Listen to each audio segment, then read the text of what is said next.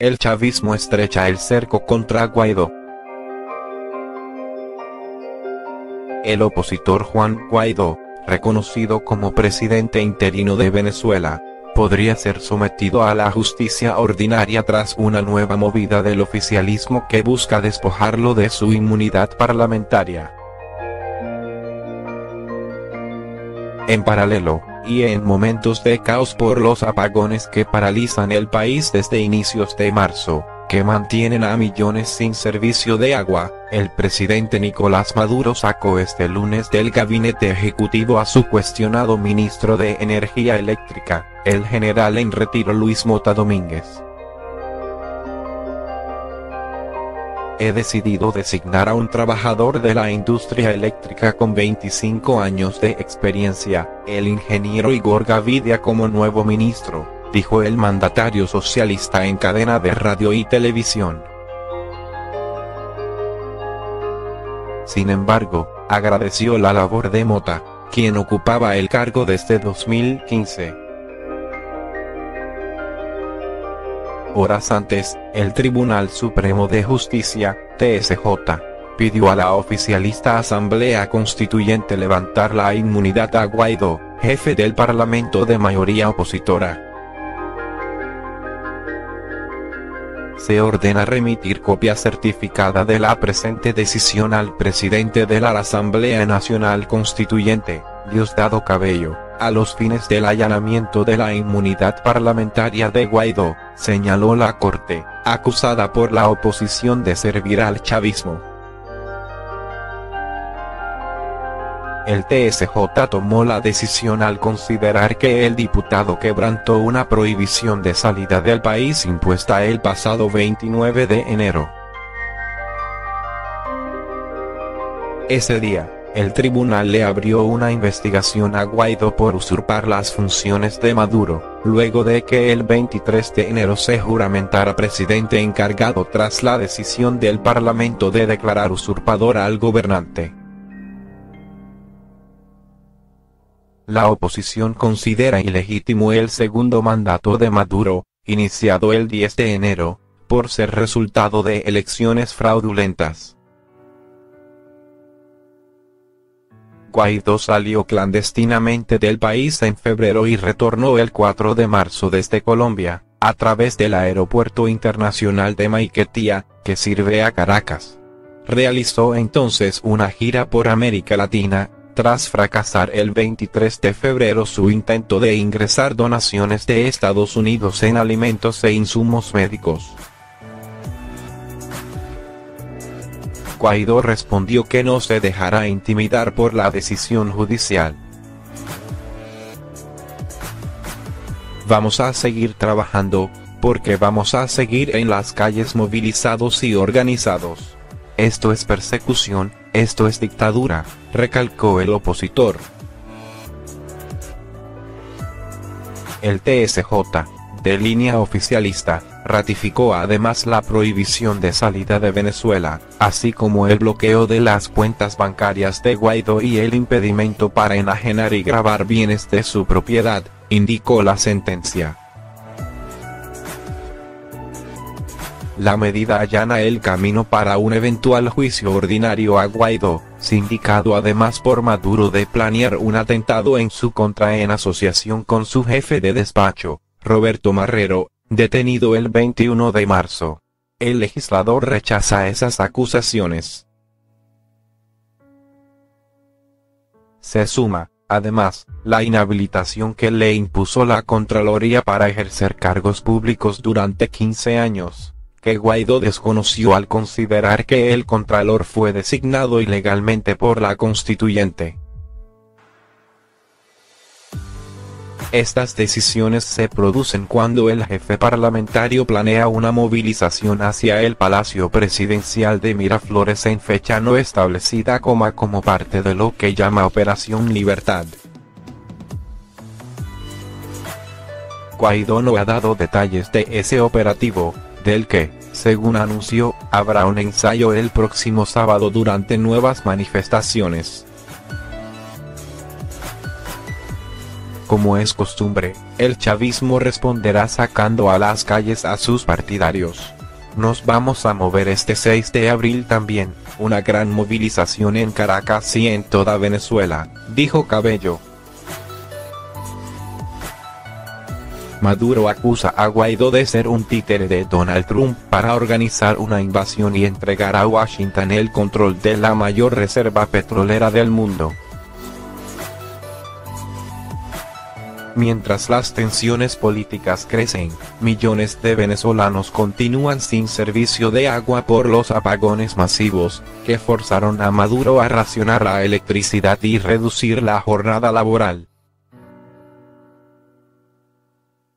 Tenemos niños pequeños y no tenemos con qué darles una gota de agua para tomar, exclamó María Rodríguez, en Caracas. Ante la emergencia, Maduro anunció el domingo un plan de racionamiento eléctrico por 30 días. El colapso de los servicios, incluidos comunicaciones y transporte, detonó protestas espontáneas el domingo, varias de ellas reprimidas por colectivos, grupos civiles afines al gobierno, algunos de los cuales, según la oposición, están armados. Al menos dos personas resultaron heridas, según manifestantes.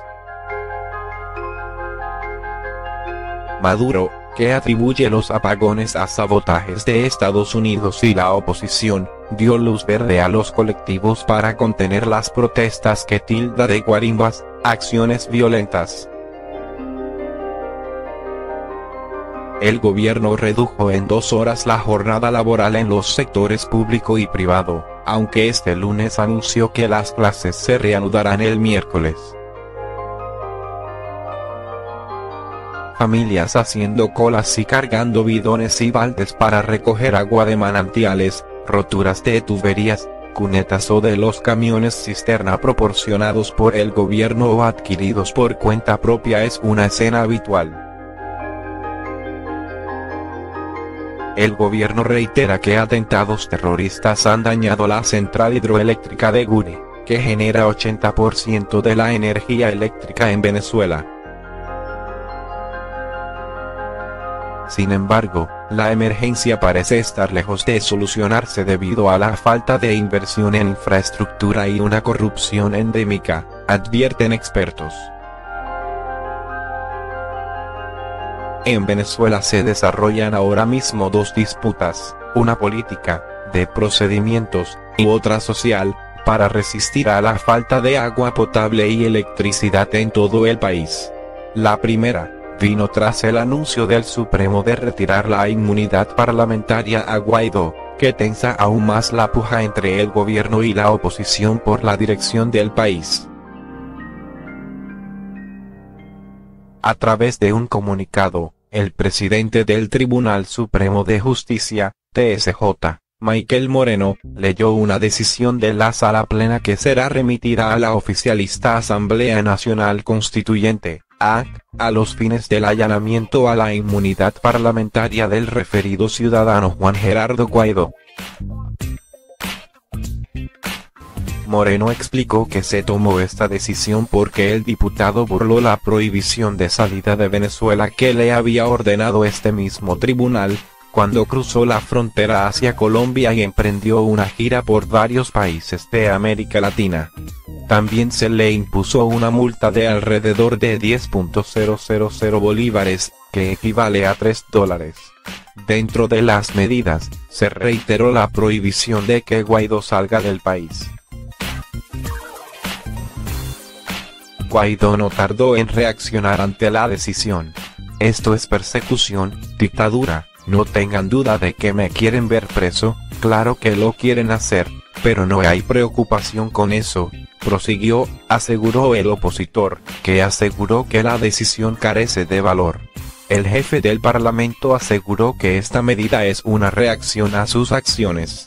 Lo que les duele es que llamamos a las calles y la gente salió, vamos a seguir avanzando en la ruta por la libertad, en el cese de la usurpación, sostuvo. Esto, en palabras sencillas, significa que como Guaidó es diputado y por ello tiene inmunidad, no pueden juzgarlo, ni apresarlo, dijo a France 24 en español, el analista en Caracas, Miguel Velarde. Los únicos que constitucionalmente le pueden quitar esa inmunidad a un diputado es la Asamblea Nacional Constituyente. Ahora el TSJ, chavista, ha enviado una solicitud para que se quite esa inmunidad parlamentaria a la Asamblea Nacional Constituyente, también chavista, nada dentro de la Constitución, prosiguió Velarde. Lo que buscan es poder juzgarlo y apresarlo, cosa que no deberían poder hacer con un diputado, agregó el experto. Con esta decisión se abriría la posibilidad de que Guaidó pueda ser procesado. Maduro, que no se ha pronunciado sobre este hecho, se concentra en lo más urgente, restablecer el servicio eléctrico. El presidente realizó un nuevo anuncio en medio de la aguda crisis que padecen los venezolanos desde hace tres semanas que iniciaron los cortes de electricidad. Este primero de abril, Maduro cesó al general Luis Mota Domínguez como ministro de Energía Eléctrica y nombró como su sustituto a Igor Gavidia, un ingeniero eléctrico con 25 años de experiencia en la industria, que además de ser ministro, presidirá la estatal Corporación Eléctrica, Corpoelec. Quiero agradecer al compañero, Mota Domínguez. Le han tocado cuatro años de guerra incesante al frente del Ministerio Eléctrico y de Corpoelec. Le he pedido que descanse un tiempo, le he pedido que se prepare para otras responsabilidades en el campo de la revolución, anunció el mandatario. Se trata del primer ministro no militar que el presidente designa al frente de esta cartera. Avidia asume el mando de la electricidad en Venezuela un día después de que el gobierno pusiera en marcha un plan de racionamiento de energía. Maduro, que ha culpado al imperialismo de supuestos ataques y sabotajes al sistema eléctrico nacional, no ha detallado de qué manera desarrollará esta estrategia de 30 días que hoy entra en vigencia. Es decir, cómo articulará la Corporación Eléctrica Nacional, Corpoelec, esta medida. El presidente ya había anunciado que la jornada laboral se reduciría hasta las 2 de la tarde, pero informó que el próximo miércoles, 3 de abril, vamos a volver a clases paulatinamente, luego de que el pasado 25 quedaron suspendidas, pero de momento, el caos, los saqueos y las maniobras para hacer frente a estos cortes, en estados como Zulia, un rico territorio petrolero que ahora sufre los apagones, se adhieren a la cotidianidad venezolana. De día la falta de agua, de noche la ausencia de luz. La situación es deplorable para miles de venezolanos. Para poder bañarse o cocinar, deben desplazarse hasta riachuelos o en el peor de los casos canaletes por donde circula el líquido no potable, para llenar sus recipientes y luego trasladarlos hasta sus hogares. Tenemos niños pequeños, que no tenemos con qué darles una gota de agua de tomar, señaló María Rodríguez, que reside en Caracas. Si su situación es complicada, Pensar en los hospitales o en quienes están enfermos resulta todavía más desolador. Las protestas y disturbios que se derivan de la ausencia del servicio, es otro de los signos de la complejidad de la realidad de Venezuela. La embajadora de México en Estados Unidos, Marta Bárcena, aseguró que su gobierno no permitirá que se violen los derechos humanos de la oposición en Venezuela y reiteró que su país apuesta por el diálogo entre las partes para solucionar la crisis que vive el país. Según la funcionaria, pese a que no consentirán vulneraciones a los líderes políticos, reiteró que el presidente Andrés Manuel López Obrador fue muy enfático durante una reunión en el Palacio Nacional en que México respeta los principios de no intervención, de autodeterminación y de solución pacífica de las controversias. Hasta la fecha, el gobierno mexicano no había hecho ninguna declaración con un apoyo explícito a la oposición venezolana, liderada por el presidente de la Asamblea Nacional, Juan Guaidó, quien se proclamó presidente interino el pasado 23 de enero. Aunque esta declaración sorprende, México mantiene la distancia que ha establecido en el ajedrez internacional de países a favor y en contra de Maduro y Guaidó. Según la funcionaria, pese a que no consentirán vulneraciones a los líderes políticos, reiteró que el presidente Andrés Manuel López Obrador fue muy enfático durante una reunión en el Palacio Nacional en que México respeta los principios de no intervención, de autodeterminación y de solución pacífica de las controversias. Hasta la fecha, el gobierno mexicano no había hecho ninguna declaración con un apoyo explícito a la oposición venezolana, liderada por el presidente de la Asamblea Nacional, Juan Guaidó, quien se proclamó presidente interino el pasado 23 de enero. Aunque esta declaración sorprende, México mantiene la distancia que ha establecido en el ajedrez internacional de países a favor y en contra de Maduro y Guaidó. Vamos a hacer todo lo posible para que el representante de Guaidó tenga asiento en la organización, dijo Trujillo, quien hoy lunes asumió la presidencia del Consejo Permanente de la organización.